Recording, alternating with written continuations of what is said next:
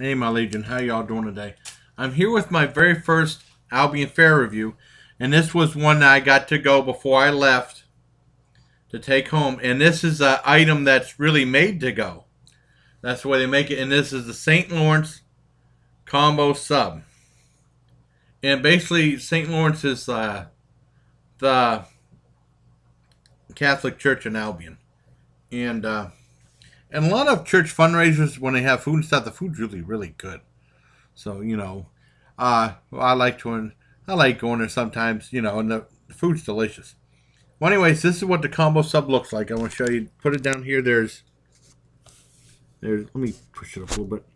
There's uh, lettuce, tomatoes in there, cheese. There's a lot of chipped ham, and then there's uh, believe that's salami.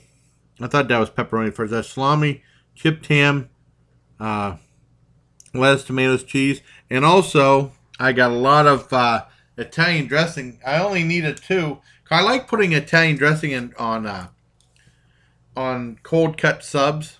That's why we liked on that turkey Italiano melt. I love that Italian dressing. There. Or no, it was a vinaigrette. And they gave me a whole bunch of these. I got actually only needed two, and I got one two, three left over.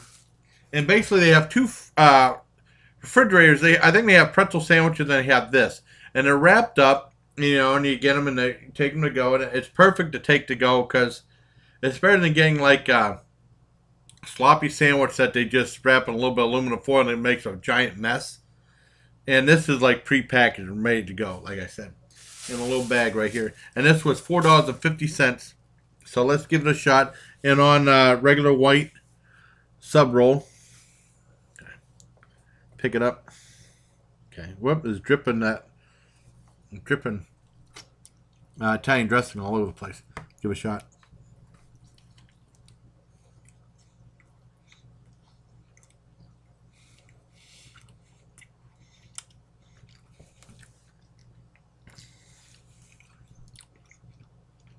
Yeah, it's pretty good. I mean, there's a lot of bread there, but you get a you do get a decent amount of meat.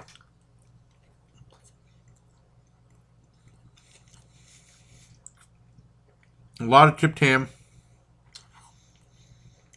Cause I haven't had I haven't had a hoagie. Well, I'm gonna say sub, but it's something they call these hoagies. Uh, from a church fundraiser a long time. So I mean I thought what the heck I'd go and get some there. There's another church that was selling like, well, I did I did do a review of uh, something that another church is selling by this, but that's a surprise. Well, it's a re-review of it. Something I saw. If you know what, if you know what my last videos from the Albion Fairwood, you know what I'm talking about probably, or you know what it's going to be. And then there's another church that's doing uh, there's other churches doing like spaghetti dinners and stuff like that. I didn't get that this year. There's so many other neat things I got. And then there was uh, one church that sells uh, apple dumplings. I remember going there and, and, getting it when right at the end of the fair they, they wanted 250 they usually want five dollars for one and they're out of their minds i ain't paying that much but 450 for this isn't too bad compared to other uh, fair uh, games fair games or fair uh, food prices so i give this uh, let me try another bite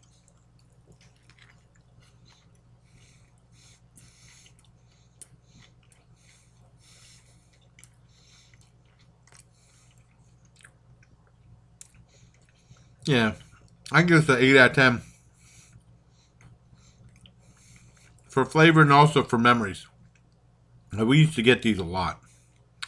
And I haven't gotten a church hoagie in a long time. So, my very first uh, Albion Fair 2015 food review. So, please stay tuned, and all the other ones will be on location. So, until next time, please take care, my Legion. And they're not always always going to be food and drink reviews. It might be something else relating to the fair. It might be a big video, and a lot of the videos aren't that long, these ones, unless I edited it. So, until next time, take care, my Legion.